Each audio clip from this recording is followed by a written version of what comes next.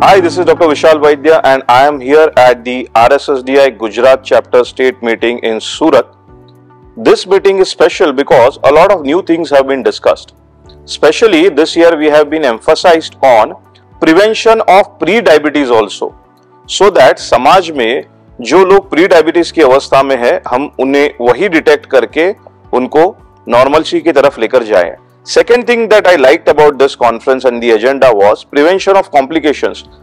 Just now there was a uh, lecture by Dr. Neeta Deshpande ma'am on prevention and state of the art management of diabetic kidney disease. So this RSSDI 2024 Surat has been a game changer in a lot of things. Thank you so much.